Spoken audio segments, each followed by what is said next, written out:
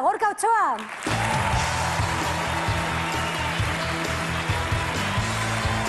Buenas noches. Muchas gracias. Muchas gracias. Buenas noches, buenas noches, muchas gracias. Pues estoy muy contento de ser el primer Donostiarra que hace un monólogo en el Club de la Comedia, porque este monólogo es precisamente un homenaje a todos esos pioneros que lograron ser los primeros en hacer algo. Científicos, exploradores, deportistas y sobre todo gilipollas. Porque ¿cuánto tenemos que agradecer, por ejemplo, al primer gilipollas que metió los dedos en un enchufe?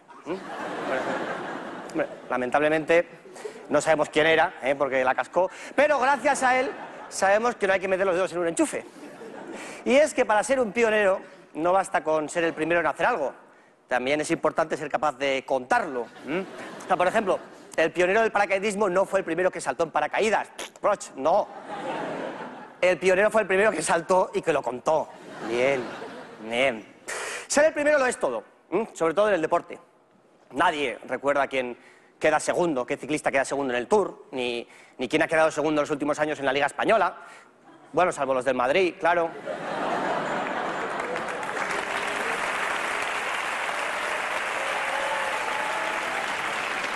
O sea, para quedar segundo mejor no salgas de casa, de verdad.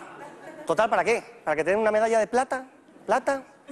Que eso no sirve para nada, plata, hombre. A ver, ¿tú has visto alguna vez a un tío por la calle anunciando compro plata? No. Plata. Que eso es una mierda la plata, hombre. Que, que eso ni pita en los aeropuertos, ¿eh? Pues si hasta el papel de plata lo hacen de aluminio, no me jodas, hombre.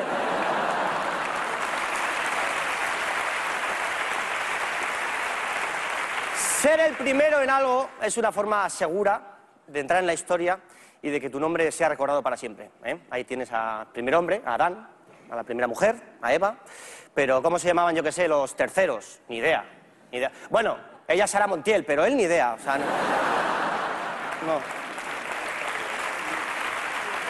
Supongo, yo supongo que sería un chino. Porque cuando no sabemos quién fue el primero en hacer algo, siempre decimos lo mismo. Fueron los chinos. La pasta, los chinos. La dinamita, los chinos. Las diademas con lucecita, los chinos.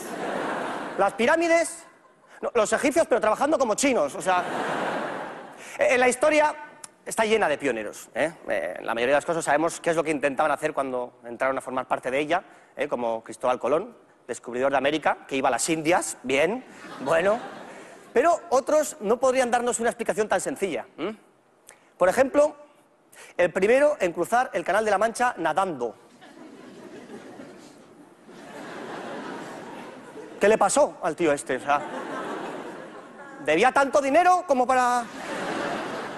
Bueno, o el primero en descubrir que mear sobre una picadura de medusa alivia el dolor.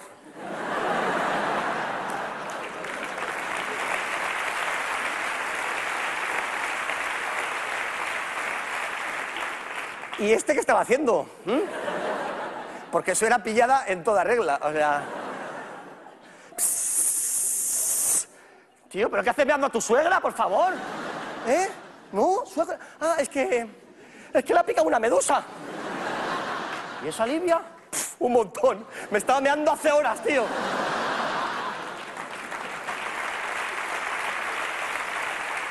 Lo mejor de ser un pionero es que puedes decir lo que te salga de las narices. Bueno, por ejemplo, otro.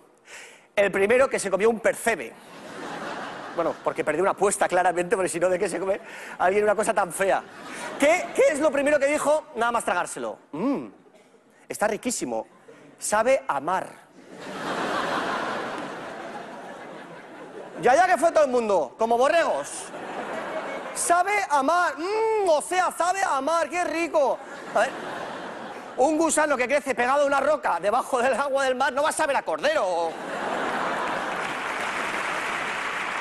Y no penséis sobre todo que vosotros no podéis ser pioneros. No, no. Es una forma de pasar a la posteridad que está al alcance de cualquiera. Y cuando digo cualquiera, es cualquiera. Que para eso inventaron el libro Guinness de los récords.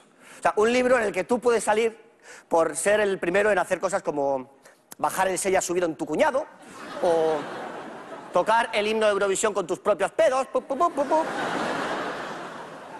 Yo estoy convencido de que el libro se llama Guinness por la cantidad de cerveza que hay que beber para hacer esas gilipolleces. Porque si no...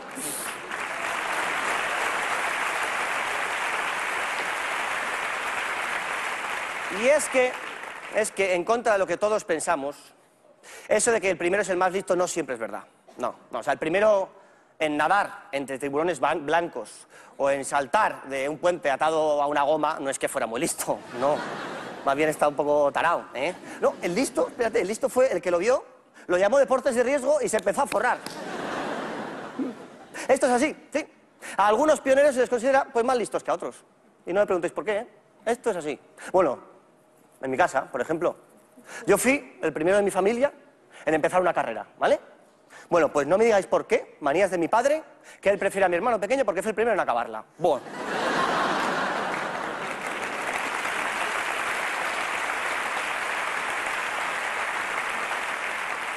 Para llegar a ser un pionero es muy importante no sucumbir al desánimo. Hombre, las primeras veces son desastrosas, sí, sí. Pero siempre te hace la ilusión, ¿verdad? Bueno, como cuando recibes la primera carta del banco en casa, que hasta te la lees, ¿eh? Bueno, hay gente que hasta la contesta. Querido banco, aquí estamos todos muy bien. Gracias por recordarme el saldo.